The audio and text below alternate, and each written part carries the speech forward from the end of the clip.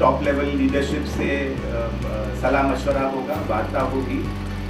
और हमें जो बताया गया है कि उनके विज़िट के तीन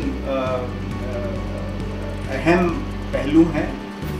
सबसे पहले तो हमारे राष्ट्रपति जी को वो इनवाइट करेंगे to pay a state visit to Nepal दूसरा प्राइम मिनिस्टर प्रचंड की विज़िट के बारे में डिटेल में उसकी चर्चा करेंगे। Both sides are committed to making this visit very substantive and a great success और तीसरा जो her Excellency president of Nepal का जो भारत भ्रमण जो किसी वजह से पहले स्थगित हो गया था, वो उसको दोबारा रिवाइज करेंगे।